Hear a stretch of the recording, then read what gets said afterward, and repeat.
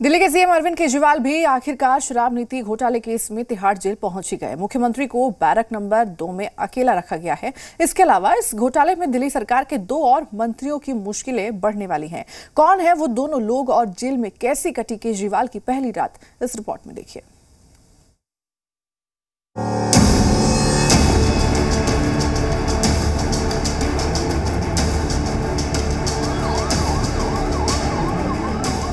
लोकसभा चुनाव से ठीक पहले आम आदमी पार्टी को बड़ा झटका लगा है, क्योंकि दिल्ली के मुख्यमंत्री और आप संयोजक अरविंद केजरीवाल अब तिहाड़ जेल में वक्त बिताएँगे और चुनाव प्रचार नहीं कर पाएँगे।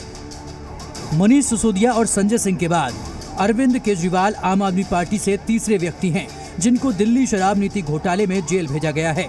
दिल्ली के राव राजवानी कोर्ट ने केजरीवाल को 15 अप्रैल तक के लिए न्यायिक हिरासत में भेजा है, जहाँ उन्हें तिहाड़ की दो नंबर जेल में रखा गया।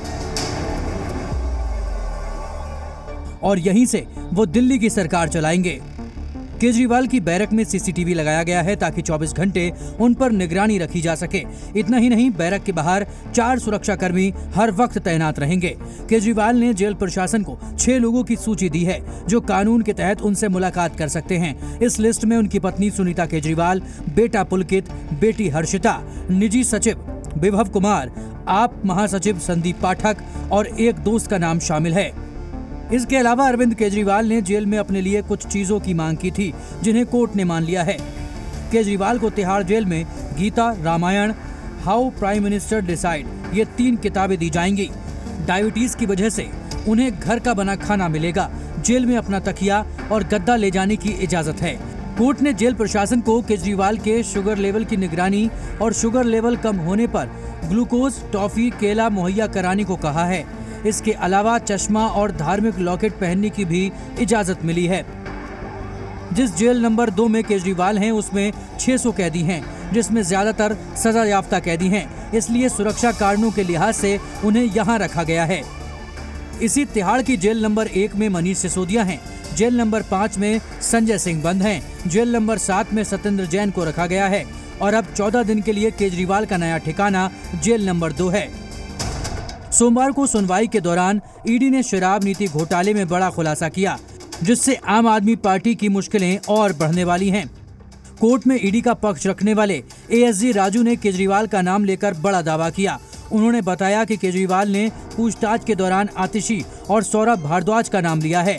केजरीवाल ने बताया है कि विजय नायर, आतिशी और सौरभ को रिपोर्ट कर रहे थे। बड़ी बात यह है कि जब ये खुलासा हुआ, तब आतिशी और सौरभ कोर्ट में ही मौजूद थे। इतना ही नहीं, दोनों के साथ सुनीता केजरीवाल भी थी। वहीं आम आदमी पार्टी ने विजय नायर के बयान का हवाला देकर ईडी के इस दावे पर सवाल खड़े कर दिए हैं। जब विजय नायर जी को हिरासत में लिया गया था, तब उन्होंने ये बात कही थी। डेढ़ साल पहले उन्होंने यही बात करी थी कि मैं मुख्यमंत्री को रिपोर्ट नहीं करता, मैं जो भी अपना काम करता हूँ उसमें मेरा रिपोर्टिंग अतिशी और सौरभ से है।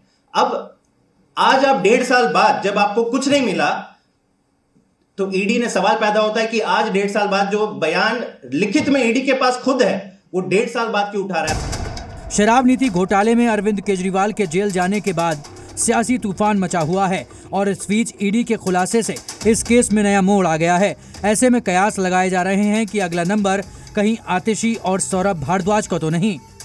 Bureau report Zee Media. फ़िलहाल रुकते हैं एक छोटे से ब्रेक के लिए।